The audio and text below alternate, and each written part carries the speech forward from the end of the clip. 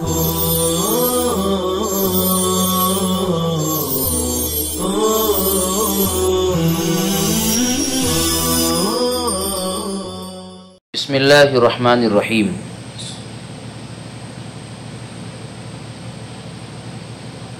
मसाइल शत्ता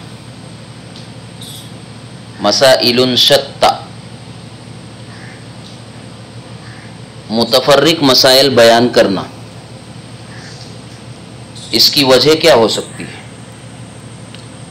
ये लफ्ज़ शत्ता शतीतुन की जमा है। इसके माना आते हैं मुतफर्रिक। मुसन्फ़िन और मौलफ़िन की आदत रही है कि वो जो मसाइल ऐसे हो जो काबिल ज़िक्र हो और वो ज़िक्र से असल बाब में रह जाते हैं ऐसे मसाइल को मुतफर्रका या मसाइल मंसूरा या मसाइल शत्ता का उनवान देकर बयान करते हैं।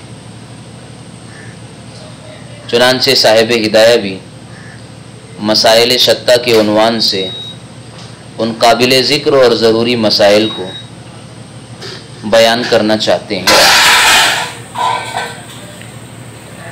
काल वईदा कुरिया अलअखरसी किताब वसीयती फ़कील लहू, नशहद अलई का बिमा फ़ी किताब। फ़ाउ मा बिरासी नाम अव कतब फ़ैज़ा जा मिन ज़ालिक मा यारिफ़ु, अन्नहु इक़रार फ़हुव जाइज़ुन। वला यजूज़ ज़ालिक फ़िल्लज़ी युअतक़लु लिसानुहु।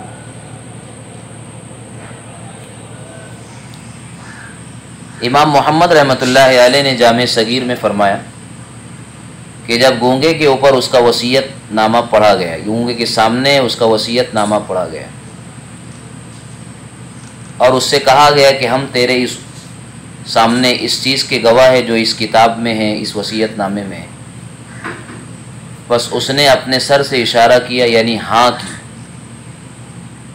या उसने तहरीर लिख दी। पर जब उससे ऐसी बात सादिर हो जाए, जिससे ये बात मालूम हो जाए कि ये अकरार है तो ये जायज़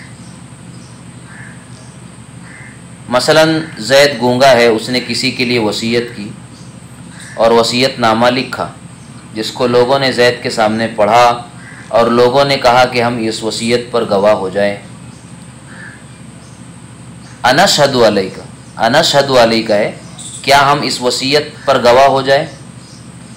उसने अपने इशारे से मुस्बत पहलू में जवाब दिया।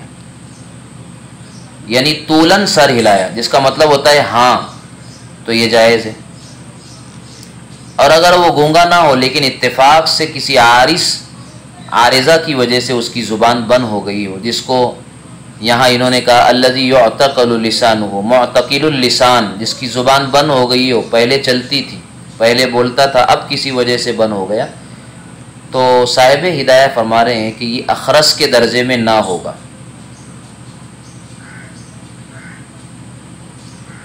यानी उसके इशारे को माना नहीं जाएगा। इसी तरह अगर गोंगे ने जो अखरस है अर्ज़ अर्ज़ में सर हिलाया, चौड़ाई में, यानी दाएँ बाएँ तो ये इशारा नहीं है हाँ का इशारा नहीं है, बल्कि ना का इशारा है। उसकी वसीयत नाफिज नहीं होगी, क्योंकि इसको इकरार नहीं कहा जाएगा। इस सिलसिले में इमाम शाफी रहमत फरमाते हैं कि जैसे अखरस की सूरत में जायज़ है, इशारा इसी तरह उस शख्स के हक में भी जायज़ है जिसकी ज़ुबान रुक गई है किसी आरजा और हादसा की वजह से। वो दलील में ये कहते हैं कि सराहतन गोयाई की जगह, इशारतन अखरस इस पर जो इक्तफ़ा किया जाता है, सराहतन गोयाई की जगह इशारा अखरस पर यानी अखरस के इशारे को मान लिया जाता है। उसकी वजह उसकी आजीजी है बोलने से। तो यही आजीजी उस शख्स के अंदर भी मौजूद है जिसकी ज़ुबान बंद हो गई हो, पहले चलती थी। तो हासिल बात का ये हुआ कि असली गुंग पना हो या आरजी हो, दोनों का इशारा मोतबर होगा और उसकी वसीयत नाफिज होगी।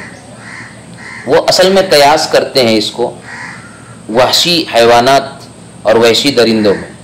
कि भाई हैवान वहशी में ज़क़़त इसतरारी जायज़ है। इजतरारी तौर पर जुबा करना, जिसकी वजह उसका वाशी होना है। लिहाजा अगर पालतू जानवर में वाशा वाशी पालतू जानवर अगर वाशी हो जाए तो उसमें भी ज़क़़त इजतरारी जायज़ है। क्योंकि दोनों जगह उसके जवाज़ की वजह, ज़क़़त इज़ इख्तियारी को छोड़कर ज़क़़त इजतरारी की वजह ज़क़़त इख्तियारी से आजिज़ी है। तो ये आजिज़ी दोनों जगह मौजूद है। बियाई नहीं, यही गूंगेपन की वजह से जैसे अखरस का इशारा मोतबर है। मुंतकिलसान का इशारा भी मोतकिलसान का इशारा भी मोतबर होगा, क्योंकि वहाँ भी आजिज़ी मौजूद है और वो उसके बोलने से आजिज़ होना है। वही ज़कुरखरस किताब वसीयती फ़कील लहू अनशद का बीमा फ़ी हाजल किताब।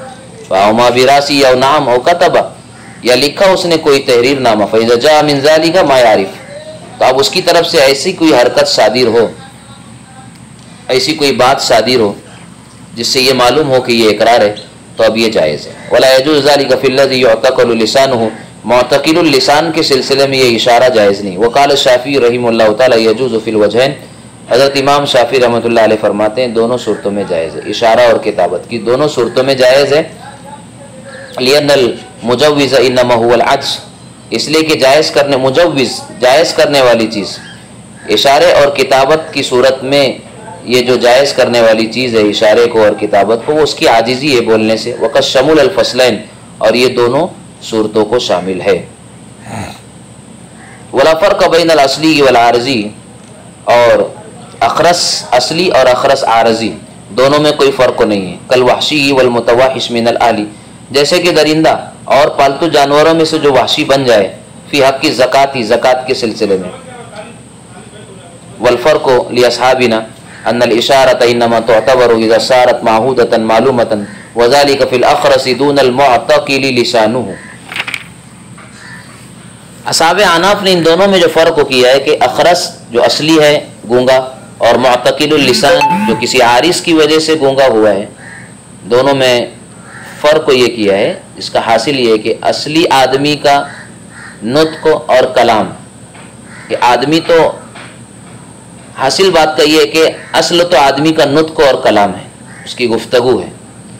और इशारात उसी वक्त तो काबिल एतबार होते हैं, जबकि इशारात माहूद हो मुतन हो। और ऐसे इशारात फ़कद अखरस के हो सकते हैं। इसलिए कि जिसकी ज़ुबान बन हो गई है, उसके इशारात ऐसे नहीं होंगे। क्योंकि ये तो उसका अभी, उसका ताज़ा उज्र है। तो लोगों को उसके इशारात को समझने में दुशारी होगी, क्योंकि वह इशारात से बात को समझाने का अभी आदि नहीं बना है। इस तरह दोनों में फ़र्क हुआ। हाँ अगर जिसको ज़ुबान बंदी का आरजा पेश आया और ये लंबा ज़माना उस पर ऐसा गुजर गया कि उसकी ज़ुबान बंद हो गई है तो इस मुद्दत में उसके इशारात जाने पहचाने हो गए तो अब ये शख्स भी अखरश के अखरस के और असली गूँगे के हुक्म में होगा इसके इशारे मोतबर होंगे। अब सवाल ये है कि कितने इम्तदाद की हद, इम्तदाद की हद क्या है? कितना ज़माना गूंगेपन को गुजरा हो तो इस अखरस आरजी के इशारे भी मोतबर होंगे? तो बाज़ ने कहा कि हद इम्तदाद एक साल है। ज़ुबान बंदी को एक साल गुजर गया हो। बाज़ ने कहा कि अगर एतकाल और ज़ुबान की बंदिश में इतना ज़माना दराज हो गया कि मौत के बराबर हो गया, हो जाए वो तो उसका इशारा, इशारे से इकरार करना जायज़ है और उस पर अहकाम नाफिज होंगे। इसलिए कि अब उसको ऐसा उज्र और अज्ज आजीजी लाइक हो चुकी है कि अब उसके जवाल की उम्मीद नहीं रही। तो यह अखरस के मानंद है। फतवा इसी बात पर है। अब दूसरा फ़र्क हमारे अनाफ ने यह किया है कि मोतकिलसान वो कसूरवार है, अखरस कसूरवार नहीं है। इसलिए कि मोतकिलसान ने अपनी ज़ुबान की बंदिश से पहले वसीयत क्यों नहीं की, इसको मौखर क्यों किया? लिहाजा कोताही उसकी तरफ़ से पाई गई है। जब बोलने पर कादिर था, उसी वक्त वसीयत कर लेता तो ये दिक्कत उसे पेश ना आती। लेकिन अखरस का तो कोई कसूर नहीं है, वो मिन जानिबिल्ला पहले ही से बोलने से कासिर है। और तीसरा फ़र्क आनाफ ने यह बताया है कि अखरस का उज्र असली है और मतकीलसान का उज्र आरजी है। और जो उज़र आरजी है, वो काबिल जवाल ख़त्म हो सकता है, जबकि अखरस ना काबिल जवाल उज़र है। लिहाजा इनमें से एक को दूसरे पर कयास करना, जैसा कि इमाम शाफी रहमत करते हैं, ये जायज़ नहीं है। अब हज़रत इमाम शाफी रहमत ने जो इस्तलाल किया है कि वाशी को उन्होंने मुतवाहिश मिनल अहली पर कयास किया, यानी पालतू जानवर में जो वासी बन जाए तो उसमें भी ज़क़़त इजतरारी जायज़ हो जाती है, जैसे कि वासी में ज़क़़त इजतरारी जायज़ है। तो उसका जवाब यह है कि कयास तो इस बात का तकाजा कर रहा है कि पालतू हैवानात में भी ज़क़़त इजतरारी जायज़ ना हो, फ़कत ज़क़़त इख्तियारी हो।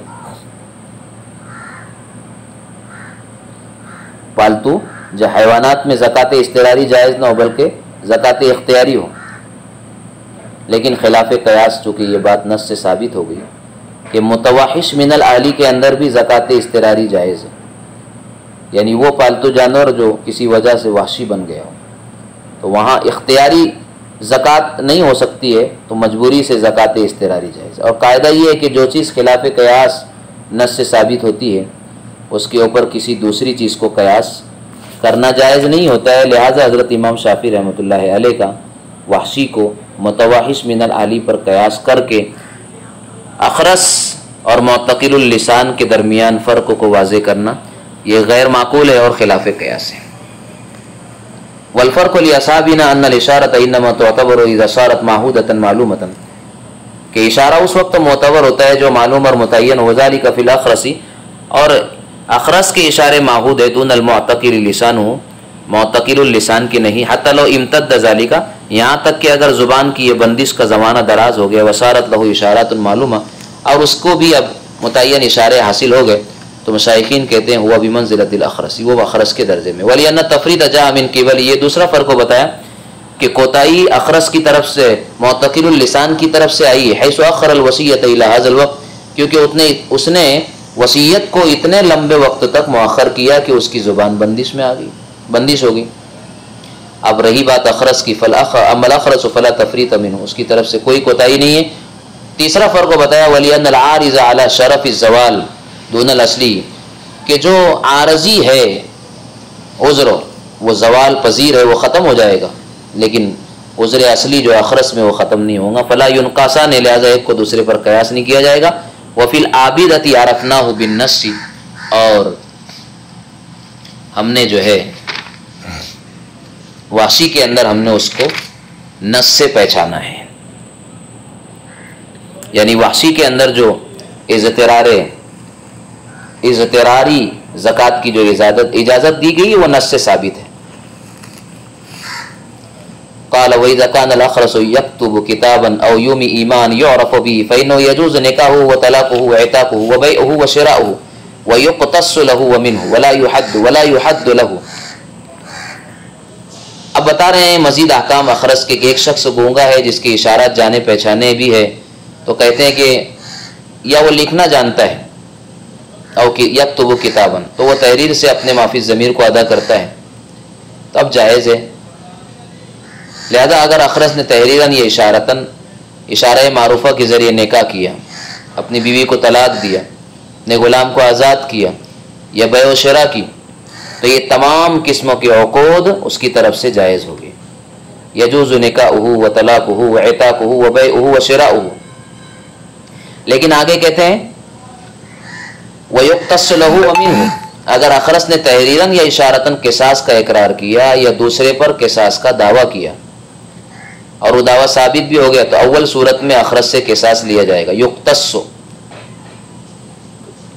लेकिन अगर अखरस ने हद का इकरार किया, या अखरस ने किसी पर हद का दावा किया और ये दावा उसका तहरीरन होगा, या इशारात मारूफा के ज़रिए होगा, इसी तरह उसका इकरार तहरीरन होगा या इशारात में होगा, बहर दो सूरत, ना उस पर हद जारी की जाएगी और न उसके लिए दूसरे पर हद मारी जाएगी। किसास तो लिया जाएगा। हज़रत इमाम मोहम्मद रहमत ने यहाँ अखरस की दो चीज़ों को बयान किया है। एक किताबत को और दूसरे इशारे को। अब साहिब हिदाया इन दोनों की जो है, इस बात पर तफसीली गुफ्तु फरमा रहे हैं। यहाँ से अमल किताब तो फलियन नहा मिमन ना बिमन ज़िलतिलखिताब बिमन दना अल्लाह तरा नबी आलम अद्दा वाजिब तबलीगी मर रतन बिल इबारा। यहाँ से तफसील बयान फरमाई इमाम मोहम्मद की उन दो बातों की। एक है किताबत और दूसरे है इशारा। किताबत के बारे में फरमाया कि उसका उसूल ये है कि जो शख्स दूर होता है, उसकी तहरीर का वही दर्जा होता है जो पास वाले की गुफ्तु और तकल्लुम का होता है। जिसकी वाज दलील ये बयान की कि नबी अकरम सल्लल्लाहु अलैहि वसल्लम ने फरीज़ तबलीग को अदा करने में कभी गोयाई से काम लिया, सामने बातचीत की, जैसा कि आमतन ऐसा ही होता रहा। और जो लोग दूर दराज थे, उनके पास आपने दावती खतूत रवाना फरमाए। इससे मालूम हुआ कि गायबीन की तहरीर हाजरीन के खिताब के बराबर है। अब जब गायब की तहरीर मोतबर है, इसलिए कि वो बिल मुशाफा गुफ्तु करने से आजिज़ है आमने सामने बातचीत करने और कलाम से आजिज़ है तो यही आजिज़ी उस अखरस में गायब से भी ज़्यादा है। क्योंकि गायब तो फिल जुमला नुतकों पर कादिर है, लेकिन अखरस तो बिल्कुल नुतकों से और तकल्लुम से आजिज़ है। इसी को कहा अमल किताब तो फलियन नहा मिमन नआ। तो कहा कि किताबत, इसलिए कि जो शख्स दूर है, वो बिमन ज़िलतिलखिताब मिमन दना। वो करीब वालों से खिताब के दर्जे में है, किताबत और तहरीर। अल्लाह तला, क्या तुम्हें नहीं मालूम कि नबी पाक सल्लल्लाहु अलैहि वसल्लम ने दवाजिब तबलीग मरतन बिलिबारा तबलीग की ज़िम्मेदारी को आपने कभी इबारत से, यानी सामने गुफ्तु से आपने उसको पूरा किया, वतारतन बिल किताबती गैब। और बसा अवकात आपने गायबीन की तरफ़ तहरीरें लिख कर गवाना फरमाई। वल वलमजवीज़ी हक़िल गायबी अलज अब गायब के हक़ में तहरीर को जायज़ करने वाली चीज़ जो है, वो उसका आजिज़ होना है। कि वो तकल्लुम से आजिज़ है। वो फ़ी हक़िल अखरसी, अजहर। और अखरस के हक़ में यह आजिज़ी बदरज अला है, ज़्यादा है वालज़म सुमल किताब वाला सलासी मरातबा। तो कहा कि किताबत की शरह करते हुए फिर मुसनफ़ ने किताबत के अकसाम को बयान फरमाया और साथ ही साथ उनके अहकाम को यहाँ से बयान फरमा रहे हैं कि किताबत जो है, वो कितने तरीक़ों की होती है। यहाँ से मुसनफ़ उसी को बयान फरमा रहे कि किताबत तीन किस्मों की होती है किताबत, किताब मुस्तबीन, मरसूम, किताब मुस्तबीन, गैर मरसूम और किताब मुस्तबीन, गैर मुस्तबीन। अगर किताबत इस तरह हो कि उसको पढ़ा जा सकता हो, जैसे कागज़ वगैरह पर कलम वगैरह से लिखा, और इसी तरह लिखा, इस तरह लिखा, जैसे खतूत लिखने का तरीका है, यानी वो मसदर और मुआनवन हो, यानी उसमें उनवान हो, जिससे ये पता लगे कि किसने भेजा है और किसके पास भेजा है। जैसे कि लिखा जाता है, मिन फ़ुला इबन फ़ुला, इला फ़ुला इबन फ़ुला। तो ऐसी किताबत को मुस्तबीन मरसूम कहते हैं। और अगर तहरीर इस काबिल तो हो कि उसको पढ़ा जा सके, लेकिन किसने लिखा है और किसके बारे में लिखा है, ये कुछ पता ना चले। जैसे दीवार पर लिख दिया, या ऊँट ऊँट या, ऐसा लिखा दो ऊँट पर लिख दिया, या मैंने तलाक दी वगैरह, ये मालूम ना हो सका कि किसके बारे में लिखा है तो उसका नाम है मुस्तबीन गैर मरसूम, यानी उसका कोई उनवान नहीं। तीसरी चीज़, और अगर फ़िज़ा में या पानी के ऊपर लिखा, जिसको पढ़ा ही नहीं जा सकता तो ये गैर मुस्तबीन है। फिर इन किस्मों के अहकाम जुदा गाना है। मुस्तबीन मरसूम का हुक्म यह है, यानी वो किताबत जिसको पढ़ा जा सकता है, और मरसूम भी है। यानी भेजने वाला, लिखने वाला, जिसकी तरफ़ लिखा गया, सब बात वाज है। उसका हुक्म यह है कि उसको हाजिर लिख के या गायब, ये कलाम के दर्जे में है। लिहाजा जो शख्स हाजिर और मुस्तबिन मरसूम तरीके पर तहरीर लिख कर पेश करे, यह ऐसा है जैसे वो ख़ुद ज़बान से बोला हो, और यही उसका हुक्म है। मुस्तबिन गैर मरसूम का हुक्म यह है कि उसमें लिखने वाली की नीयत दरियाफ्त की जाएगी। यानी वो तहरीर जिसको पढ़ा तो जा सकता है। लेकिन उसमें गोया, उनवान कोई नहीं। किसको लिखा है, किसकी तरफ़ लिखा है? तो नीयत मालूम करेंगे। इसलिए कि यह किस्म ऐसी है जैसे अल्फाज किनाई है या तलाक के अंदर, कि उनमें नीयत की ज़रूरत पेश आती है। इस तरह इस किस्म के अंदर भी इस तरह की तहरीर में नीयत की ज़रूरत पेश आएगी। मुसनफ़ रहमत ने फरमाया लियन सरी किनाया। यानी तहरीर का ये उसलूब मस्कूर ऐसा है जैसे कौलन उसने किनायात को इस्तेमाल किया कौलन बातचीत में। जिसमें नीयत की ज़रूरत पेश आती है। ऐसे ही इसमें भी आएगी तो सरीहुल किनाया से मुराद किनाया कौलिया है। और गैर मुस्तबीन इबारत बिल्कुल, ना पढ़ी जा सकती है और ना ही उसमें कोई अनाविन है। यह ऐसा है जैसे कलाम गैर मसमू कि उससे कोई हुक्म साबित नहीं होता। इसी तरह इस किस्म की तहरीर से भी कोई हुक्म साबित नहीं होगा। और पत्तों, फ़िज़ा और पानी पर जितनी तलाक़ें लिखे, कोई तलाक वाक़ नहीं होगी। इसी को कहा किताब सुमल किताब वाला सलासी मरातिबा मुस्तबीन मरसूम वह बिमंजिलत नुत्क फिल गायब यह नुत्कों के दर्जे में वल हाजिर वाला मा कालू फिल गायबी वल हाजिर गायब और हाजिर दोनों के हक में नुत्कों के दर्जे में जैसे कि मशाइकिन ने कहा वह मुस्तबीन गैर मरसूमिन दूसरी किताबत मुस्तबीन तो है लेकिन मरसूम नहीं कोई उनवान निकल किताबती अलजिदार वरा की लशजार वयुन वफ़ी इसमें नियत की जाएगी लिया नौ बिमंजलत सरील किनाया ये सरीउल किनाया के दर्जे में। फलाबुद्दमिन नियत नियत का जानना ज़रूरी है। वगैर मुस्तबीन कल किताबती अलहवाई तीसरी किस्म में किताबत की गैर मुस्तबीन, गैर मरसूम, जैसे कि हवा पर लिखा, पानी पर लिखा, वह बिमंजलती कलामिन, गैर मसमून या ऐसे कलाम के दर्जे में है, जिसको सुना ही नहीं गया है। फला यसुतुबील हुक्म। लिहाजा इससे कोई हुक्म साबित नहीं होगा। आगे, दूसरी किस्म जो इमाम मोहम्मद ने मतन में ज़िक्र की थी, इशारा। उस पर साहिब हिदायत तफसीली कलाम फरमा रहे हैं, उसे हम अपने आइंदा सबक में पढ़ेंगे। वमा तोफ़ी की अल्ला बिल्ला